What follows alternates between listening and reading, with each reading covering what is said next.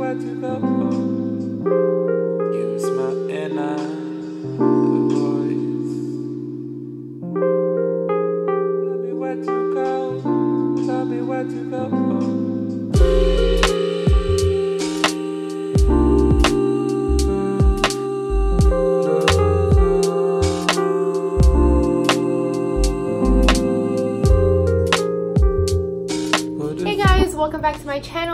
Here, welcome to my channel. My name is Alexis Lopez and I'm so happy to have you guys here.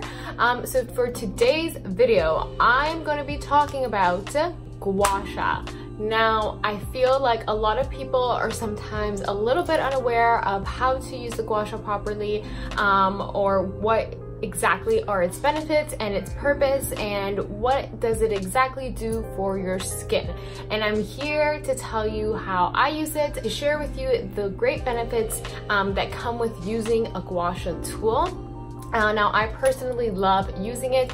I love to feel like pampered and really um, show some love and attention and care to my skin, um, especially on the day, those days where I feel like it's looking tired, a bit dull, and it just needs a little bit more extra love and attention because I know we all have those days sometimes.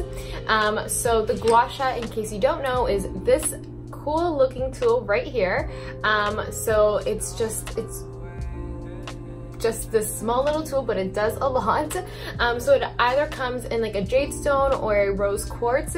So the one I have is a green jade stone. I love the gua sha tool and the reason why I use it is because I absolutely love um, the fact that it brings back the blood flow in your skin, especially when you need that extra boost because you're lacking some glow, um, some brightness to the skin. So by using this gua sha tool to massage the face, um, it gets the blood circulation going, it releases tension, um, it drains, like it creates a drainage and then the lymphatic fluids.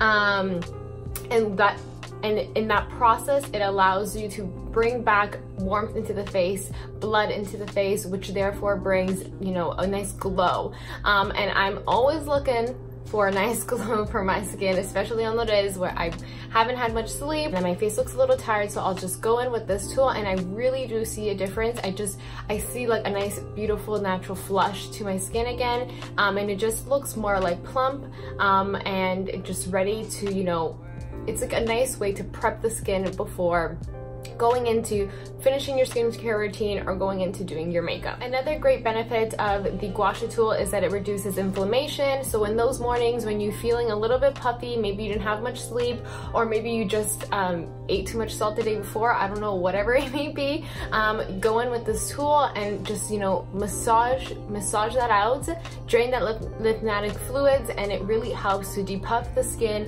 and reduce inflammation.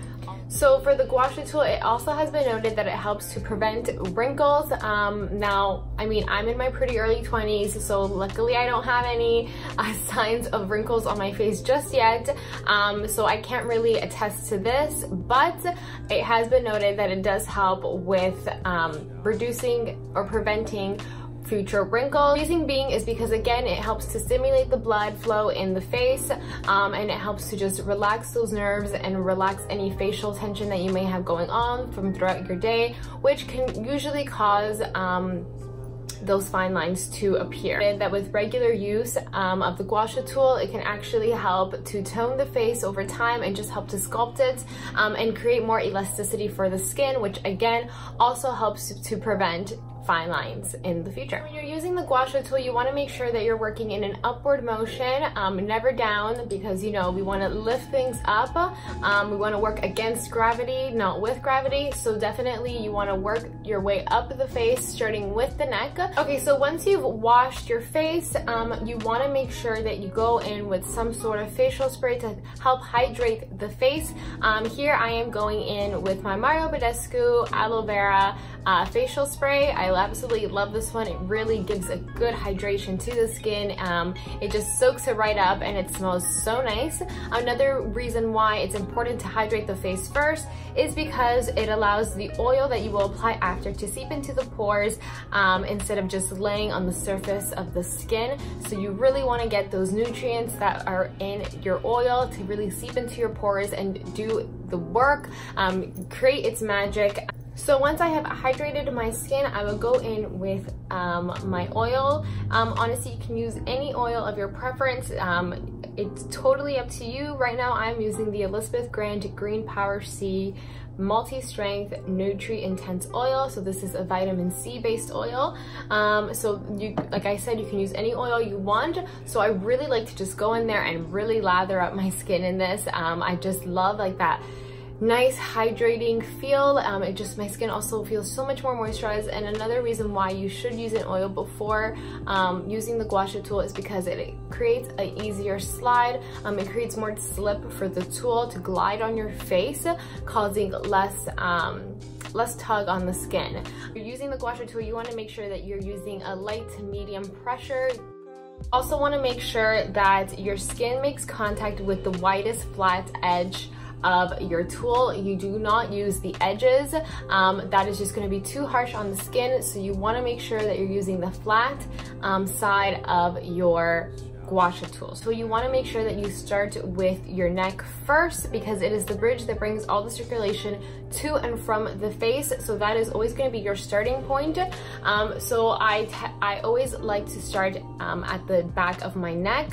Um, so you wanna use the like inside corner um, of the gua sha tool where it sort of curves in and you want to start at the nape of the neck and then go up in an upward motion and then when you hit that bone in your scalp you want to just give it a little a little massage a little wiggle and then after that I'll move on to massaging my right shoulder up to my neck like near my where my ear is.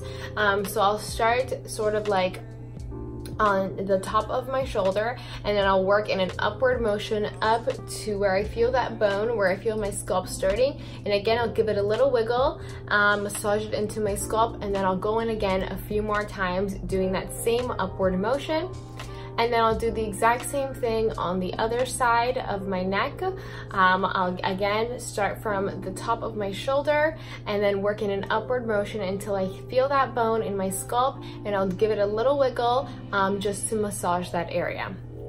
And then once you've done that, you wanna make sure that you also do the front of the neck. So again, you wanna work in an upward motion and just um, with a light pressure, just massage in an upward motion. Yeah, so I usually start with my jawline. Um, I'll do one half of my face first and then I'll move on to the next half of my face.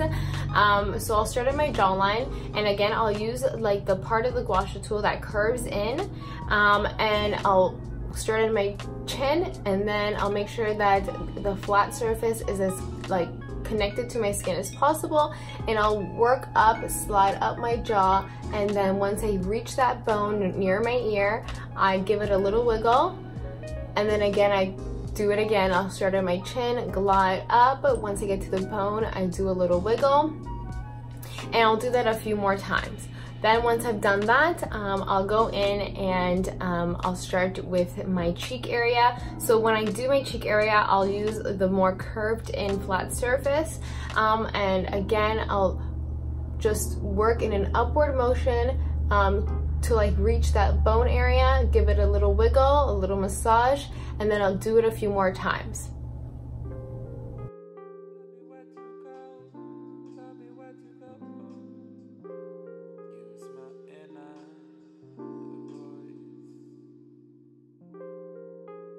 Want to massage the under eye area. Here you want to be very gentle just because the under eye area has very sensitive skin. Um, it is the thinnest skin that you'll find on your face so you just want to be very gentle with that part so I'll use one of the um, like surfaces that are sort of like sticking out. Um, I don't know how else to explain it.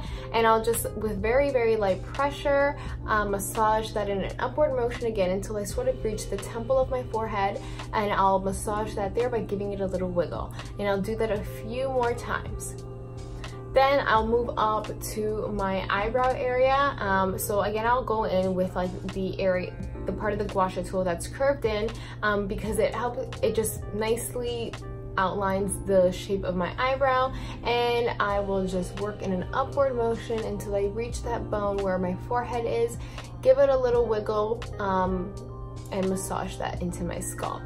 And then when I move on to my forehead, I like to use this part of the gua sha tool and then I'll just um, work in an upward motion again until I hit my um, both my scalp and I'll give it a little massage by giving it a little wiggle. And again I'll work in an upward motion. Um, once I've done that I'll work on the other side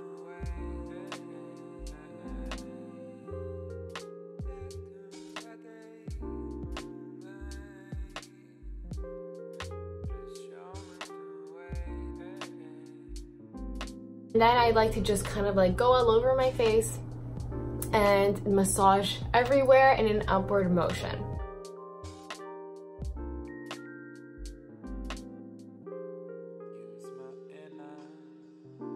Finish it all off, this is totally up to you. This is just like what I like to do. I always go in with my jade roller just because it's very, very cooling effect to the skin. So I'll just roll up um, and just finish it off by using my jade roller. Plus the jade roller is less of like a deep tissue massage. It's more of just like a relaxing therapeutic feel.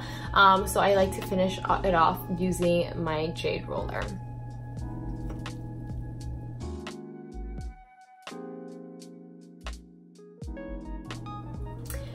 That's it for today's video. Thank you guys so, so, so much for watching. I hope you guys enjoyed it and found it helpful. Um, I know that before I started using the gua sha tool, I definitely had to do some research because I wanted to make sure that I was using it properly. I didn't want to just, you know, have it and use it like willy-nilly and not know what I'm doing Um, because um, um, you know when it comes to your skin you definitely want to know what you're doing. So I definitely made sure I did my research um, and especially because I wanted to make sure that I was giving you guys the right information. So now you can go home and use your gua sha tool and give yourself some good loving massage on your skin. And um, yeah. Anyways guys I'll see you all in my next video. Bye guys Hey guys, thank you so much for watching. Be sure to check out my last video, which is where I showed you guys how to style a pair of white combat boots. Um, there's a lot of fun and exciting outfits on there, so I would definitely go check it out.